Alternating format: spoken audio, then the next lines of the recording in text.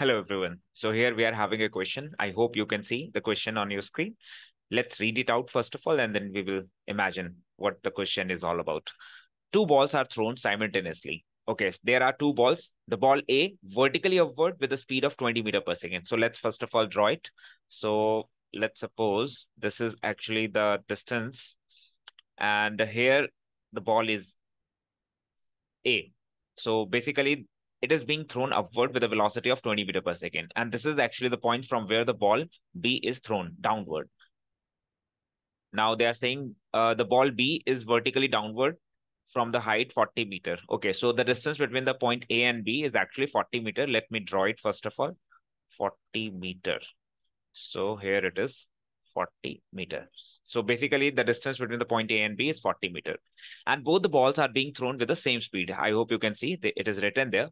Both the balls are thrown with the same speed along the same line of motion. Okay, at which point the two balls will collide. We don't have any idea, but this is for sure that both the balls will collide at any point between the point A and B, right? So let's take this point C and we are saying that the balls will collide at point C.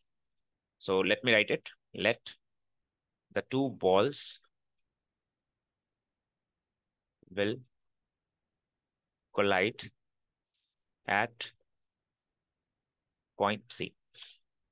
Now we have to take the distance of C from bottom or top. You can take it from anywhere. So let's take this distance as X. Let me do it. This is X and this distance as 40 minus X. Let me do it. This also.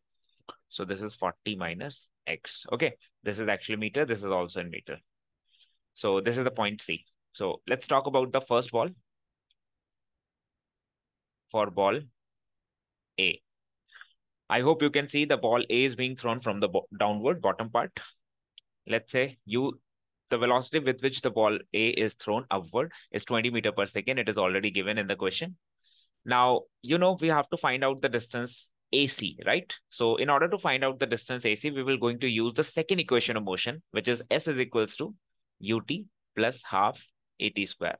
There is another variable called T. So we have to consider that ball A reaches from the point A to point C in time T. And similarly, the ball B, which is thrown from the point B, also reaches the point C in the same time. So let me also write, let the time taken by both the balls to collide each other is small t. So let me write it here.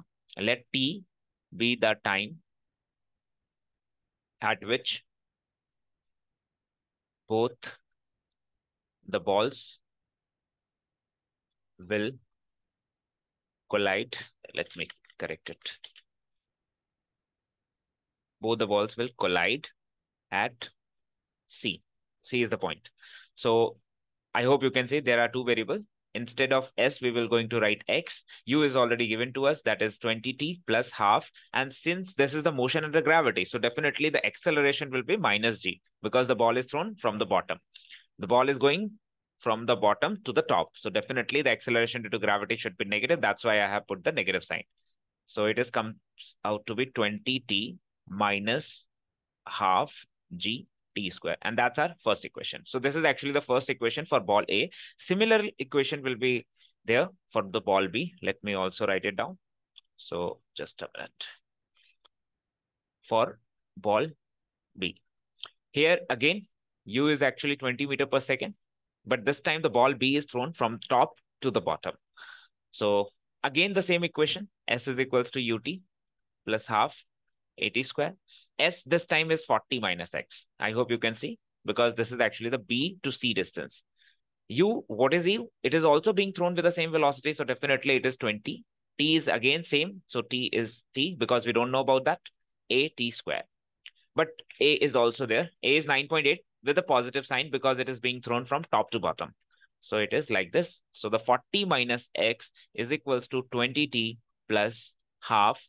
Let me not put the value of G so let it be small g, g t square. Now that's our second equation. Now we have to solve both of them by either elimination or substitution, whichever way you think it will be easy. So I'm going to eliminate both of these equations. So let me do it. Just a minute. So x is equals to 20t minus half gt square 40 minus x is equals to 20t uh, plus half gt square. I'm going to add them simply. You can see when I add x and 40 minus x, both the x's will be cancelled because one has the positive sign, another has the negative sign. So the final answer will be 40. This will be simply added up because both have the same sign of positive. So 40 plus 20 plus 20 will be 40. So it will be 40t. And they will be cancelled out because one is positive, another is negative. So definitely you can see that 40 is equals to 40t and time is equals to 40 upon 40. But we don't have to find out the time, but it will be used to find out the x. So definitely the t is coming out to be one second. The time, so it's come matlab, both the balls will going to collide each other at one second. I hope it is clear. Now we have to put the value of t, that is one second, in either of the equation one or two to get the value of x. Since we have to find out x, we will going to put it in equation number one. So I'm going to putting in t is equals to 1 second in equation 1. Where is equation 1? Here, here it is equation number 1. So x is equals to 20. t, what is small t? It is 1 minus half g. What is the value of g? I hope you can see. It's 9.8 because the value of g okay okay one more thing the value of g already given in the question so we will not use 9.8 we will use 10 whatever is given if the value of g is not given in the question then by default we have to use the value 9.8 right so the value of t is 1 second, so 1 square. So it is x is equals to 20 minus, you can cancel out this 5. So 20 minus 5 is actually 15. So the ball collide at a distance of 15 meter from the bottom and 5 meter from the top. So you can write down this as per your requirement because in question it is not written so we can give both the values or either of them both will be accepted. So the final answer should be uh, i don't have the space to write down but i'm going to tell you that the final answer should be written in terms of words that both the balls will collide at a time of one second. Yeah after one second at a distance of 15 meters from the bottom or 5 meters from the top. So you can write it either way. Both will be the correct. So i hope all of you got this question. Thank you very much